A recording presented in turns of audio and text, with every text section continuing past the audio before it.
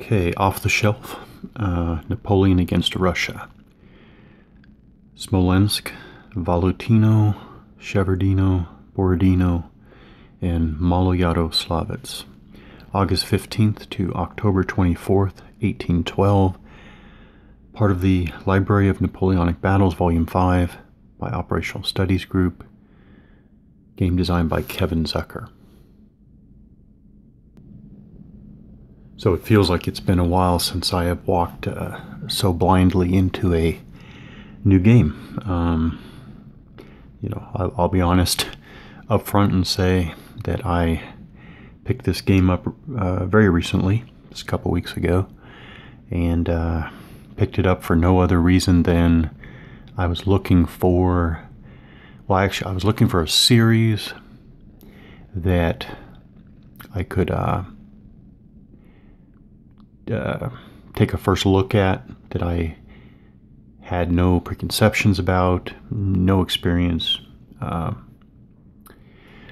something completely new. So, uh, so this is what what I went with.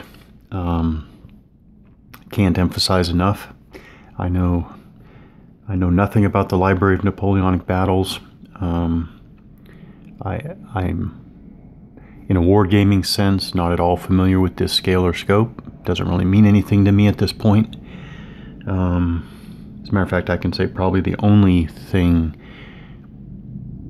the only thing, uh, the only thing I recognize is Kevin Zucker, the name, the game designer. Uh, that's it. So, um, this will be very, very fresh look, fresh experience. Um, uh, I think what I'm going to do this time is uh, um, I'm going to start at the back of the uh, rule book. So, in the back of the uh, systems, uh, yeah, the game system rule book, there is a glossary, and it's about uh, was it about a page and a half. Um, so when I uh, have, when a game provides something like a, a, detailed glossary, or it might it might fall under another name, but basically, when a rules uh, when a rules set offers any type of detailed um, um, terms reference, whatever you want to call it, um, I always like to use those uh, as a as an overview of the game. I like to read through them from beginning to end, and I like to, uh, if they have the rules references uh, embedded, I like to go through the, the terms and take a quick look at each of the rules references. Um, and it's kind of funny because in the rules, it actually says at the start of the glossary section, it says for a good overview read this section with the sequence of play, which is funny because that's exactly what I would have done. So, especially since it was spelled out by the designer in the rules, uh, that's exactly what I'm going to do. Uh, and it's going to be especially useful for me since, again, I have no background or preconceptions going into this. Um, I did set up uh, as best I understood the Maloyaroslavets um, battle scenario here. Um, but uh, before getting started with that, we're going to do this overview. So, starting at the top here, artillery. Artillery pays infantry movement costs, while horse artillery pays cavalry costs. That makes sense. Um, artillery and horse artillery pay double uh, movement costs during mud, thunderstorms, uh, and snowstorm turns for all types of terrain. That makes sense. Bombardment. Artillery units may bombard in the bombardment phase using the bombardment table at 2 to 3 hex range. So the first thing is, since it references 2 to 3 hex range for artillery, what scale are we talking here? And we are talking each hex here is 480 meters across, um, so 480, just under half a kilometer for each hex here. And while we're at it, slope hex sides represent a rise of 50 to 100 feet. Um, so, okay, so we're talking a low, a low hill. Uh, crest are 20 to 50 feet, okay. Um, oh, and uh, a hex is woods or marsh if one third or more of the hex contains the terrain symbol. Although I, I did a quick glance here, um, I see that the forests are are fairly well um, conforms fairly well to the hex grid. Maybe maybe what maybe this one, but even there you let's see was it yeah um, but actually conforms quite well to the hex grid. Um, okay. Uh, and then the other thing is, um, yeah, bombardment table. So just a real quick uh, scan. So we got our Library of Napoleonic Battles combat tables. We've got a bombardment table right there at the top. Looks like we got bombardment strength and a 1d6 roll with some modifiers. See notes to combat tables. Notes to notes to combat tables, um, bombardment table. Okay, so there are some. Yeah, there are some DRMs and looks like strength modifiers. Okay. Got bridges, a span crossing a river, see terrain key. Okay, terrain key on the map. Yeah, it's already under the plastic, so let that go. Cavalry mounted combat units. Okay, including regular, heavy, and light. So we have regular, heavy, and light. Um, cavalry charge. Any cavalry except light cavalry may make a cavalry charge resolved on the charge combat table. So back to our combat tables. Uh, player aid here. We've got a charge combat table. Probability ratio. Interesting. Goes from 1 to 1 starts at one to one, um, and one die roll. And are there are there modifiers here? Yeah, charge combat table, die roll modifier for weather and uh, mud charging is not allowed. Explanation of charge results: overruns eliminate attacking cavalry. Phasing units return to their starting. Okay, so kind of like a repulse Phasing units return to their starting hex. Reduce number of steps, if any. Oh, so it's not just a repulse, actually. Well, okay, I guess you could also call that a repulse. Um, the target's movement cost double in next movement phase. Hmm. Well, I hope there's a, a information marker for that. All right, we have column. Includes all units that arrive on the same or consecutive turns at the same area. They arrive in a chain of units or stacks. Unless otherwise specified, all corps assets, non-divisional artillery units followed by the baggage train, arrive at the end of the column. Okay, combat strength, the total manpower of a combat unit quantified in strength points, 1 SP equals between 400 and 800 men combat units, all playing pieces except leaders, vedettes, trains, and markers. Only combat units may attack enemy combat units. That makes sense. Is this a, no? Is this a no?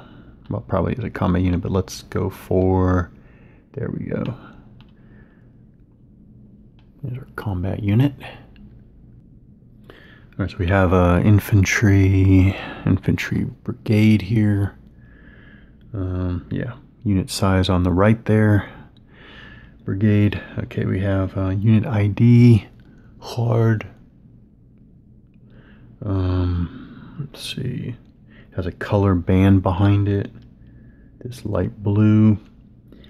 Um, command designation. So this is the fourth, fourth corps. Was it probably 13th division? Probably. NATO infantry symbol. Um, then we have combat strength of 9, initiative rating of 3, and movement allowance of 4. Um, and there's the blue band behind the, the unit ratings. Not sure if that's just for readability or some other. Hmm.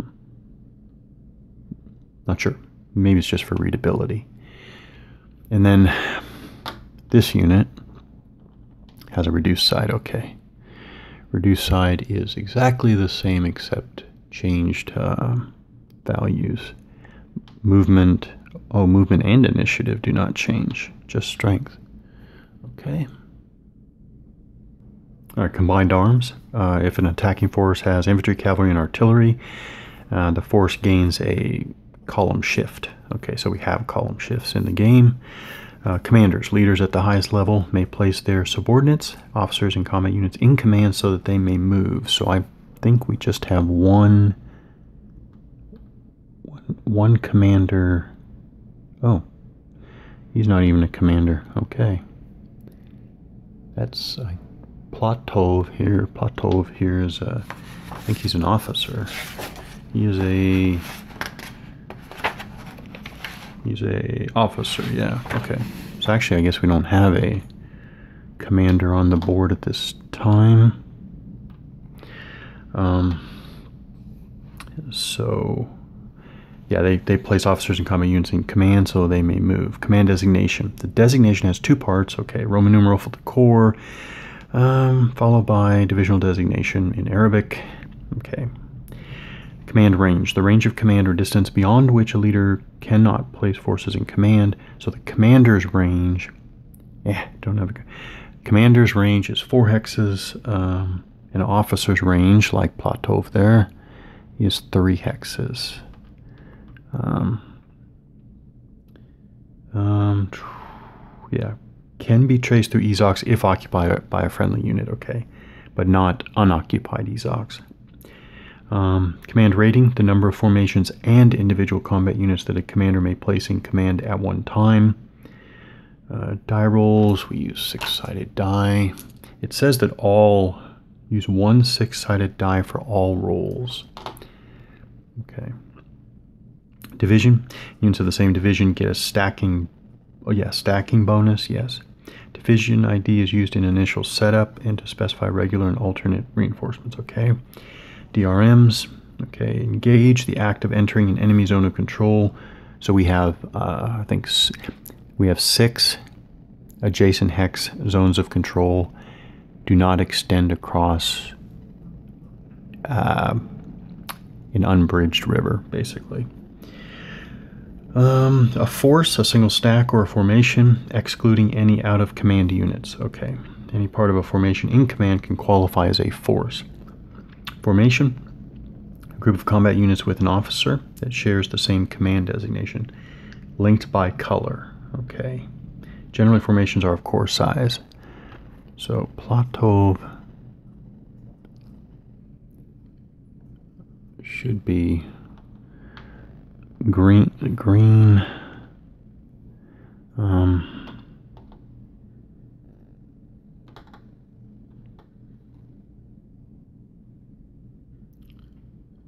Platov, Green, Band, Denisov should be one of his subordinate combat units. Um, and I think COS is probably Cossack. Cossack. Um, I'm guessing. We'll get to all that. All that Napoleonic war game stuff. All the formations, nationalities, etc., etc. Later. Uh, friendly, all right, friendly's obvious, but we basically have coalition forces um, against Fr French and allies. In command, a unit within the command range of a commander or of an officer who is in or of an officer who is in command. Okay, so hmm, I guess we'll look at that later. Initiative rating, used to determine whether officers and units may move when they are not in command. I think that's the major use of uh, the initiative rating there. Again, the, the, the center the center value, 3 for Huard here. Um, and for recovery, okay. Uh, it is also used in shock results, okay. I'm sure shock will, well, look at that. Shock does not have a separate entry in the glossary, so there's a there's a shock combat table, which is separate from the CRT. So CRT. So CRT is odds versus one die roll. Huh. Guess there are no DRMs for the regular CRT.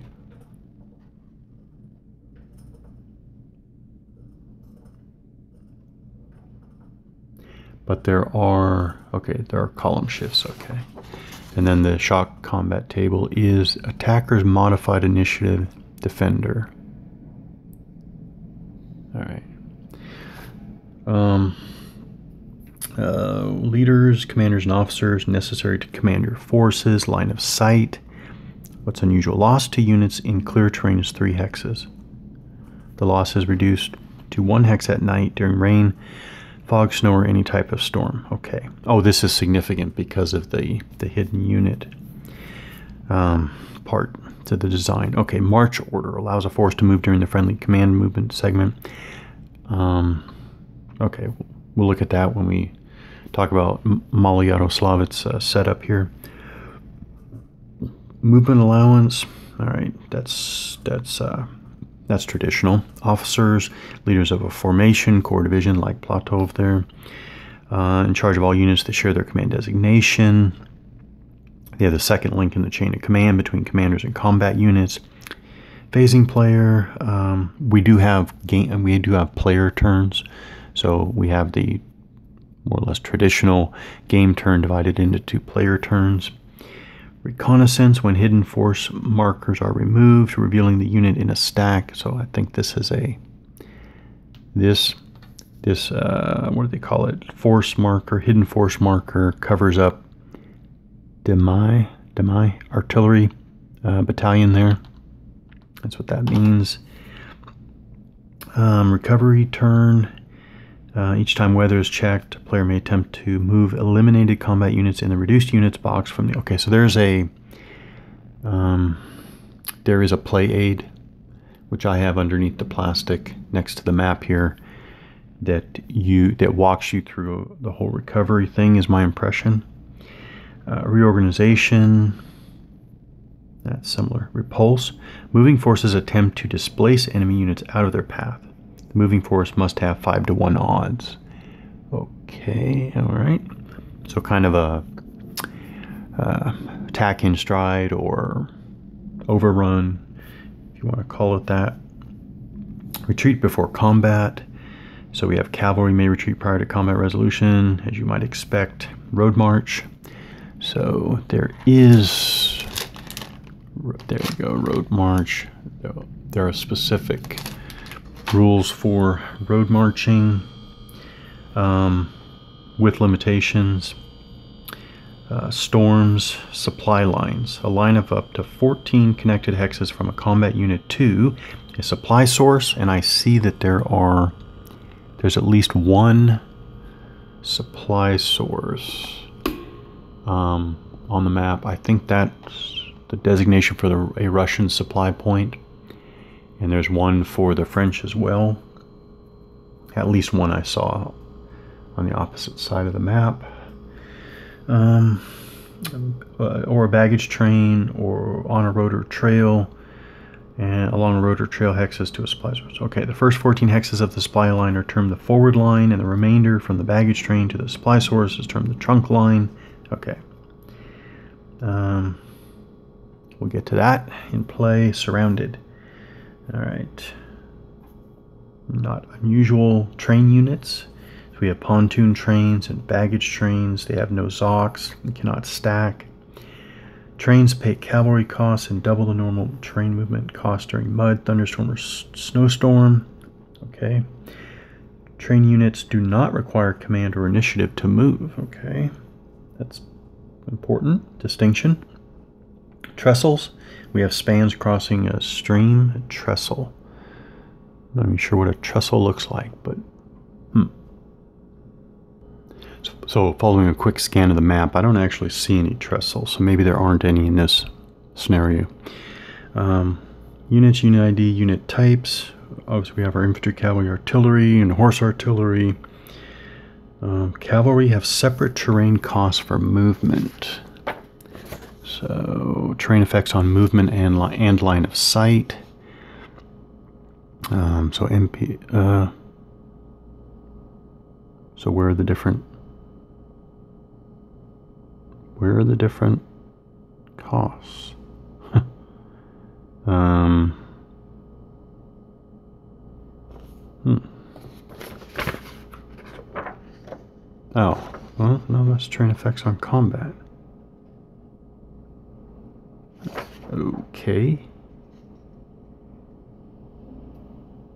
Unless, okay, unless that's what they mean. They're actually, that's funny. They're integrated into the MPs to enter across cavalry and horse artillery, infantry and artillery. Okay, cavalry, infantry. Uh, I was looking for separate columns. Did that even come in? Was that even? Wasn't even looking at the screen. Okay, so it's MPs to enter across, and then and it's in the text divided infantry and cavalry. I was looking for separate columns. Um, uh, units awaiting recovery box. Again, that's the the play aid. Man, I should probably remember to show these before I put them under the, under the plastic. But uh, all right. Vedettes. So we do have vedettes, light cavalry units that uh, can be broken down into a number Light, oh, okay. Only light cavalry can break down into a number of vedettes indicated on the unit's counter. Vedettes are non non-combat units. They move like cavalry, but they don't fight. Okay, so that'll be interesting to see that in play. Uh, when I was separating the counters, I saw specific vedette units. Um, and then we have zones of control, which I already mentioned, but the vedettes look like that right there. And so you have, you know, the vedette from this unit, as I understand. Yeah, because you have the full designation. Um, but you have that symbol for vedettes. So that should be interesting. Um,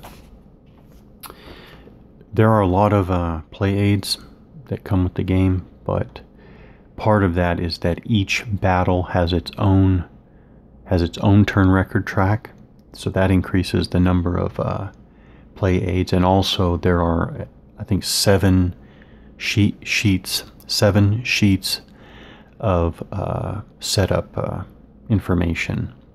Uh, I think three French, four coalition. So, um, Russian. Um, so, a lot of play aids. So here you have an abbreviated sequence of play uh, so again, there's a game turn. It's one hour. Uh, normally, it's one hour in the day. You have your first player turn, followed by your identical second player turn. Player turn has four phases. You have a start phase, command phase, movement phase, and combat phase. This is certainly, by sequence of play alone, this is no more than moderate complexity. No more than moderate complexity. Um, so we will walk through this. Um, let's see. Uh, I mean, your movement phase is divided, I think, between your movement uh, by units in command. Then after that, um, you're attempting to move units that are out of command by initiative. Um, combat phase, broken up line of sight, cavalry retreat, bombardment, cavalry charge, combat. Second, okay, yeah, second line of sight step, yeah. So, not very, not not very extensive. So, that is my first overview. I got a better idea of kind of the very basic uh, framework of the game. Um, the nature of the scenario is that, uh, come on, the nature of the scenario. Nature of the scenario is that we start with only a handful of uh, forces on each side, and uh, and and a lot of more forces come on. Uh, in the, the battle, I, I guess I get the sense that the battle builds. So in that sense, I guess it'll be, it'll be good uh, introduction. Um, so we can start with a small number of units and, and build.